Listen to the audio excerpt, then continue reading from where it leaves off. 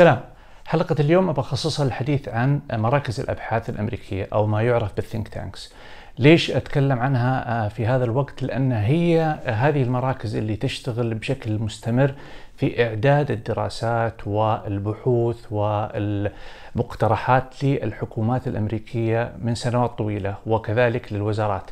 فدورها مفصلي في تحديد مسار الحكومة والعلاقة اللي تربط الحكومة مع السياسات والتشريعات اللي تكون فيها.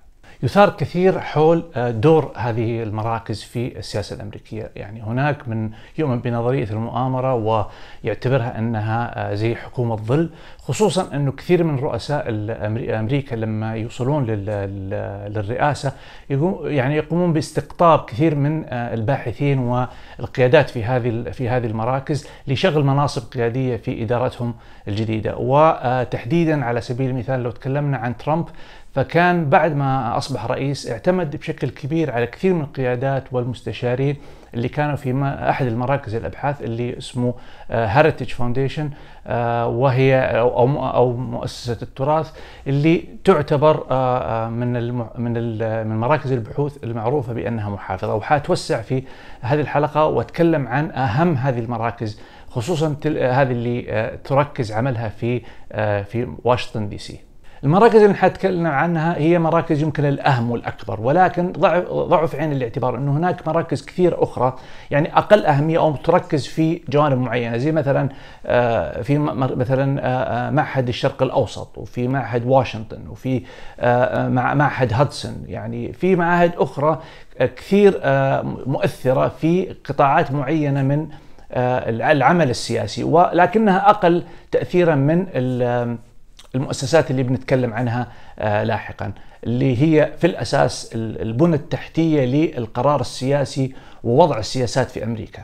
المركز الأول هو مركز بروكينجز آه، للأبحاث ومقره طبعا دي سي. وهذا يعتبر من أهم المراكز لأنه كثير من آه، الشخصيات والقيادات في الكونغرس يعتمدون على دراساتهم وعلى أبحاثهم. وكذلك الإعلام يعتمد كثير في نقله وفي فهمه للسياسة آه، للدراسات اللي تضعها هذه هذا المركز. توجه بروكينجز أحيانا يحسب على أنه ليبرالي، أحيانا يحسب على أنه وسطي، وأحيانا يحسب على آه، أنه آه، محافظ، ولكن غالب الظن أنه هو مركز آه، ليبرالي لاعتبارات منها على سبيل المثال أنه الباحثين اللي يعملون في مركز بروكينجز أكثرهم معروفين بأنهم يعني أتباع أو أصحاب فكر ليبرالي وكذلك التبرعات اللي قام فيها هؤلاء الباحثين خلال سنوات عديدة. كانت دائما تذهب للحزب الديمقراطي. تأسس مركز بروكينجز في عام 1916 مؤسسة كارنيجي للسلام هذه مقرها في آه، واشنطن وتأسست عام 1910 آه، معروف بتأثير آه، سياساته والدراسات اللي ضعها للجانب الخارجي اللي هي الشؤون الخارجية. لذلك له فروع كثيرة حول العالم كمراكز أبحاث وما هو محسوب على تيار معين له على اليمين وله على اليسار. مركز الدراسات الاستراتيجية والدولية اللي مقر واشنطن كذلك تأسس عام 1962 وهو يعد من أفضل المراكز في مجال الأمن والعلاقات الدولية. كذلك هذا المركز ما ما له انتماء حزبي لأنه يصنف نفسه على أنه ثنائي الأحزاب، فعنده باحثين آه، موجودين أو محسوبين على الحزب الليبرالي أو الحزب الديمقراطي وهناك آه، باحثين محسوبين على الحزب الجمهوري. مؤسسة راند. هذه مقرها في كاليفورنيا وتأسست عام 1948 وكانت في الأساس آه، ممولة من القوات الجوية الأمريكية وبعد كذا كان تركيزهم على الجوانب المرتبطة بالعلوم وبعد كذا حصلت على منحة من شركة فورد ومولتها آه، بحيث أنها أصبحت الآن أحد أكبر آه، مراكز الأبحاث في أمريكا. مجلس العلاقات الخارجية هذا تأسس عام 21 1921 في مدينة نيويورك. وهذا يعتبر كذلك من أهم مراكز الأبحاث في أمريكا لأنه آه، يقدم أبحاث ودراسات مهمة جدا للقطاعات الحكومية الحساسة زي الاستخبارات وغيرها.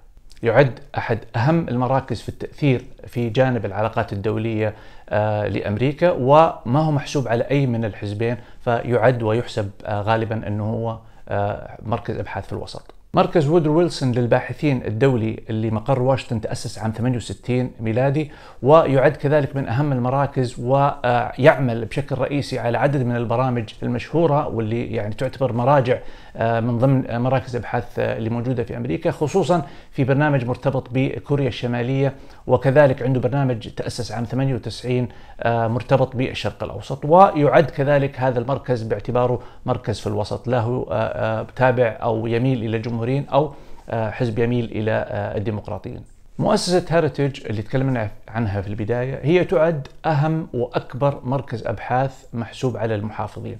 ولذلك آه، هو يؤثر بشكل رئيسي على الحملات الانتخابية ويقدم استشارات آه، قوية جدا ومؤثرة في الحزب الجمهوري.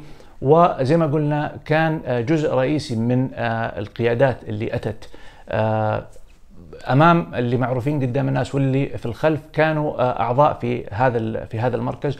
وكثير من الدراسات اللي وضعوها في مرحلة ما قبل آه، قدوم ترامب ترامب تبناها لأنها تماشت مع الاتجاهات اللي كان يدعو لها أو هو تبنى الاتجاهات اللي دعا إليها هذا هذا المركز. البعض يعزو سبب آه، اعتماد ترامب كثير على هذا على هذه المؤسسة هو أنه التاثير الحقيقي هو بدا مع الرئيس آه، ريغن آه، طبعا الجمهوري وترامب دائما ردد بأنه هو يبغى يعيد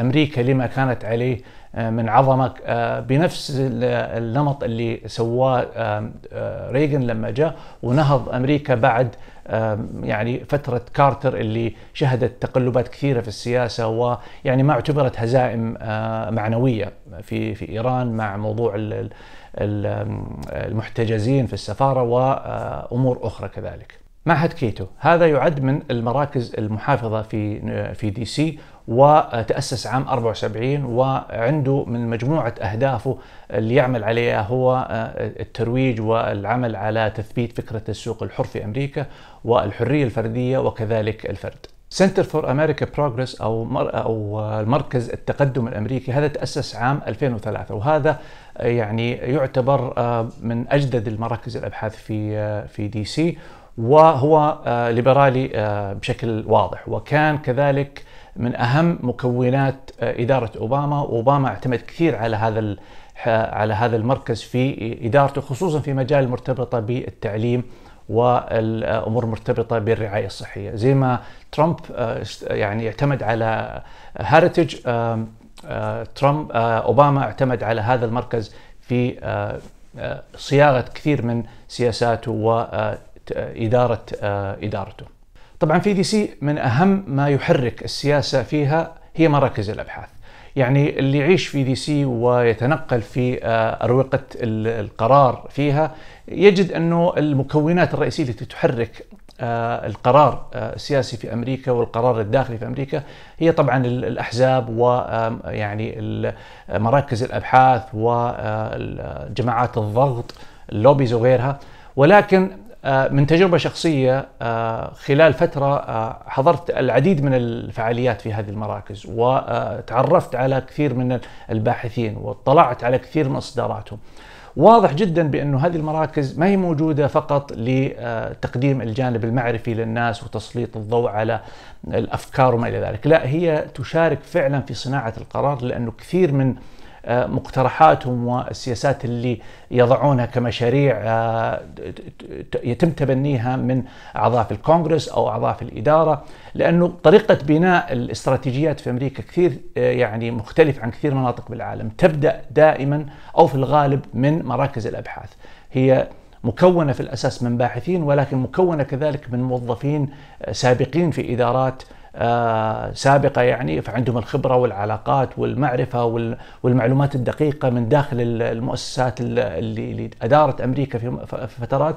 فهنا يعني ما يتقاعدون المسؤولين بعد ما تنتهي آه، مدة آه، عملهم في إدارة معينة. يتم استقطابهم في هذه في هذه المراكز والإستعانة بأفكارهم. هذه بشكل سريع ال think tanks أو مراكز الأبحاث في أمريكا، تكلمنا عن بعضها بشكل سريع وتكلمنا عن عن فكرة المراكز الأبحاث ودورها في صناعة القرار في أمريكا. إذا عندكم أي أسئلة في ال comments كالعادة لا تنسون تعملوا share و like إذا عجبكم الفيديو ونراكم إن شاء الله في حلقة قادمة. سلام.